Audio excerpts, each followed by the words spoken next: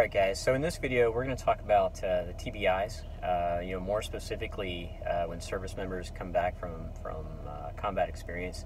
This is something when you look on the USMLE outline uh, content, it's on actually the second page, and it, it says that they're going to focus more on these types of questions. So uh, we want to make sure we stay ahead of the curve on this. And you know that USMLE outline content is for step one, two, and three but I really think this will apply. We'll try to make the questions apply to step one and uh, step two. So uh, hope, hope you like the video. All right, guys, so this question reads, a serviceman who recently returned home from military deployment reports he and his partner are going through marital difficulties. The serviceman mentions persisting headaches since returning from his deployment.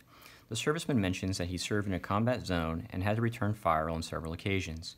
During this initial encounter, which of the following screening tools would be most appropriate to utilize? So anytime you're getting this whole military uh, kind of a serviceman, you got to be thinking, you know, trauma, you know, what happened when he was there. And obviously, he's had these symptoms since returning from the deployment, okay?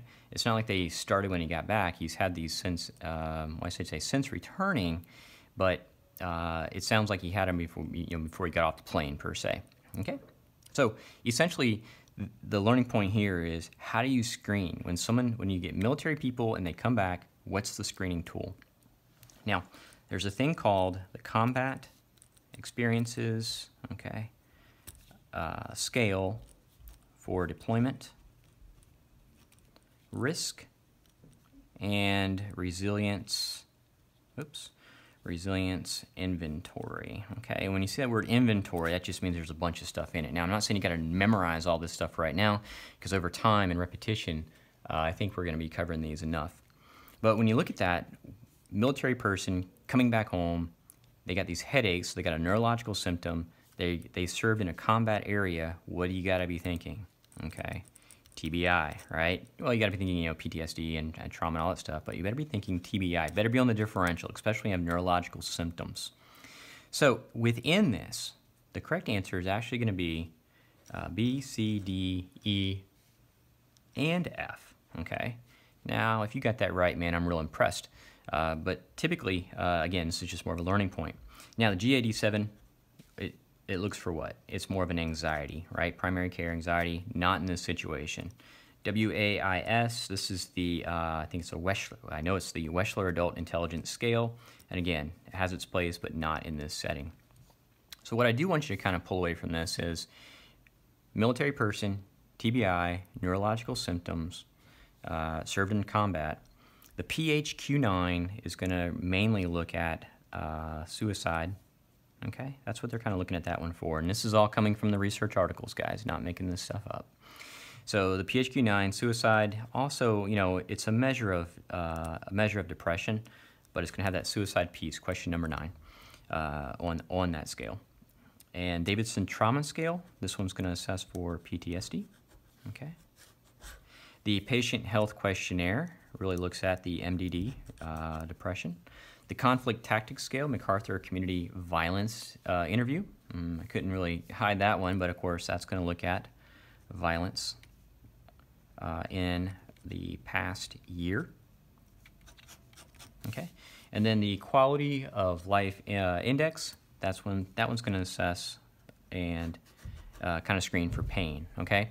So within this inventory, when someone comes, military person, comes back from combat, keep in mind PHQ-9, suicide depression, Davidson Trauma Scale, PTSD, patient health questionnaire, MDD, conflict tactics scale, MacArthur Community Violence Scale, violence in the past year, and the quality of life index is for pain, okay? They're going to be big. They're, the USMLE is telling you on that outline that they're going to be asking more about military people coming back from uh, combat and stuff, and I can see it coming on these exams uh, pretty soon here. So have a familiarity with this military person, neurological symptoms, uh, served in combat, Did, and not necessarily have to had, had to return fire because you can, still get TBI from other means as well, but it's got to be on your differential, okay? So be familiar with that. Now, next question says, uh, the serviceman mentions uh, he was involved in a blast when their convoy was attacked. He mentions he did not lose conscious and can recall all the events around the episode uh, blast. Of the, bla- of the blast episode. He reported feeling confused for several hours after the incident, but that resolved. He mentions that the headaches as the only symptom that seems to linger since the episode. Aside from the headache, he is able to, he is able to function uh, with his usual activities of daily living. Okay? So, which of the following is the most appropriate diagnosis? Is it A, acute stress disorder? Is it B, post traumatic stress disorder? Is it C, mild neurocognitive disorder due to traumatic brain injury? Is it D, major neurocognitive disorder due to traumatic brain injury? Is it E, adjustment disorder? Okay. So, are there any ones that are just flat out uh, off the table? You know, you always eliminate your worst one or two right out of the gate. Well, you know, I'm not too keen on adjustment disorder because, you know, that's like stressor within, you know, it's within three months. Um, we really never gave a timeline on this, so it's hard to even do that. But it's more of just distress in the work or social situation. But this guy's got neurological symptoms, so it's more than just an emotional reaction uh, to something within three months. So adjustment disorders, I'd say off the off the table for right now. Acute stress disorder, you know, it's exposure to death, violence, injury, and or witnessing it. You know, you don't have to actually be there. You could have even wit. You know, I shouldn't say that. You, you do have to kind of uh, exposure to death, injury, violence, or witnessing it. Uh, and, but that's typically, you know, let's say three days to one month. They kind of excluded anything when, I, and I had to correct myself there. They ex, they've now excluded like looking at stuff on TV or seeing pictures as as meeting that criteria for, uh, say, PTSD. So keep that in mind. But, anyways, acute stress disorder, uh, less than one month. Um, and that doesn't excite me for this question so much. So now we're down to PTSD, and then we got this uh, neurocognitive disorders, mild and major. Okay, so we know PTSD. That's going to be our avoidance, you know, hyper arousal, okay, to a situation, uh, persistent anxiety, you know, could have anger outbursts. Um, there's like a threat, you know, a persistent, like a threat of harm. Um, but again, does not include movies, pictures, and things like that. Now, this guy, he has these headaches and he talks about marital difficulties, but he doesn't give us enough, there's not enough in this question to even make that assumption to meet that criteria for PTSD. So we're going to eliminate that one right now. So now, you know, now we're down to these neurocognitive disorders due to due to TBI. Because he mentions he had a TBI, and uh, and according to the and, and this data, guys, was taken from the Journal of Neuro uh, Psychiatry, Clinical Science, 2017. So I'm not just making this up, okay? Uh, so here's what we got. Uh, you know, a TBI Okay, and here's what they say. You know, a TBI, you had to have, you know, per se, impact to head, okay, or other mechanism of, of a rapid movement of the brain uh, within the skull. Okay, so TBI, impact to the head, uh, or other mechanism of rapid movement of the brain within the skull. And you got to have with one or more of the following. Okay, you got to have, you know, you could have loss of conscious. You could have um, post traumatic amnesia. You could have confusion. And again, I'm not saying you got to all have all these. You just got to have one of these. You got to have some type of impact to the head uh, or rapid movement of the brain um, within the skull, and at least one of the following loss of conscious, post traumatic amnesia, confusion, or the last one, because right now, right, this guy, this guy we talked about didn't have any of these. It didn't have a loss of conscious, he says. It didn't have post-traumatic amnesia. Uh, he, well, he felt confused, but that's all resolved, um, per se. Uh, you got to have neurological symptoms, okay? Now, does he have neurological symptoms? Yes, he's got this headache that, right, just has been lingering and lingering and lingering. So he's got this one, check. He's got the impact of the head of the blast, because of the blast per se.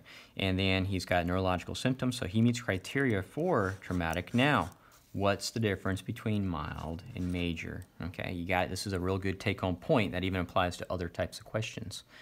Well, for sim simplicity purposes, mild essentially means you're still uh, independent you know, still independent functioning. You know, you can do the checkbook or whatever, or do your own finances. You know, go to the store, take care of all your your basic needs.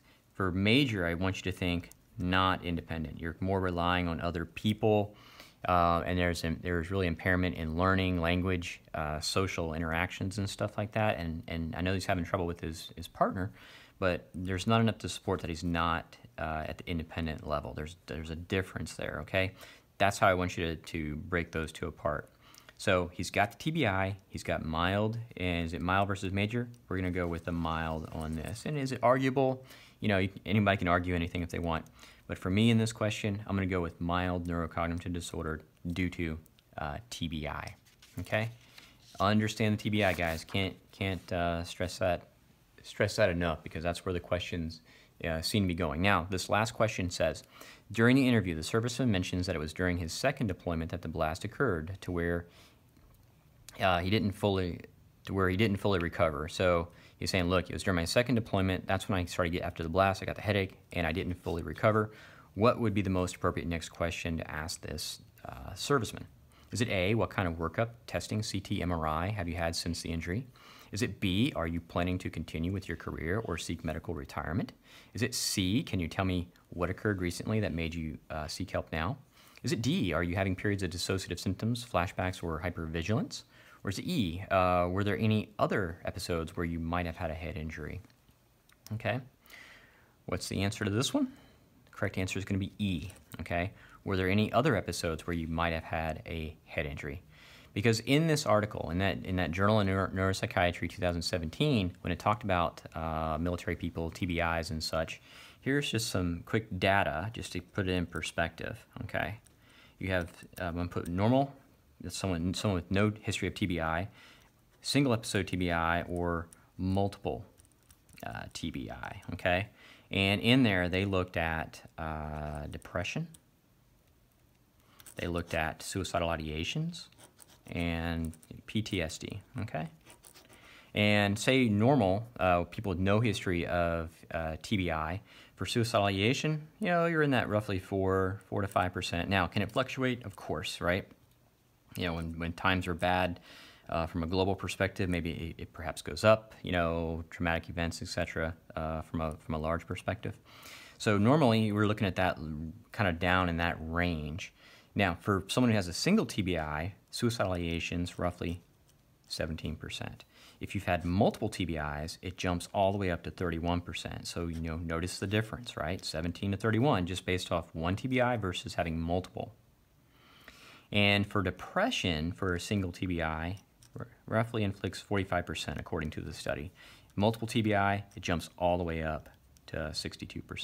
So again, big jump between the two. And for PTSD, we were looking at single TBI at 28% and multiple TBIs at still around that 62% uh, area. Okay, so how would you screen for? So what what do you screen for in this situation for SI? per se. You're going to use that PHQ-9, right? What about PTSD? That's going to be that uh, Davidson trauma scale. Okay. Repetition, guys. What it's mainly about. Now, what kind of workup? CT, MRI? It's like, yes, could they have had that? Yes, but is it going to make a, is that your next question? No. Because actually, you know, testing, they're going to do it, but it's not like definitive, meaning hey, we didn't find anything on the MRI, therefore you don't have this. No, that's not the case. Uh, so it's good to have the testing, but it's not indicative to have positive testing to get a, to get the diagnosis. Are you planning to continue with your career, seek medical retirement? And that sometimes comes up, but it's not the question you're going to ask in that situation right there. Can you tell me what occurred that made you seek help now? Great question when people come to you as a physician. Um, if they had a chronic issue and then now they're coming in, you, oh, I, I always like to ask them this kind of gives you an idea whether it's family pressure or their own. They came in, but it's not not what you'd ask this guy right now. You already know why he's having marital issues. Uh, are you having periods of dissociative symptoms, flashbacks, or hypervigilance? And again, that's just more of that more of a screening for PTSD. Uh, but the next question you're going to ask, um, most appropriate, I should say, and that's usually like a step two kind of thing, uh, even though there's a lot of overlap between step one and step two, are did you have any other head injuries. It's kind of like asking a person who hurt themselves, do you have any history of self-harm prior to this one? So anyways, guys, make sure you know uh, military people. Uh, I want you to be thinking TBIs, guys. Okay? Hope you liked the video.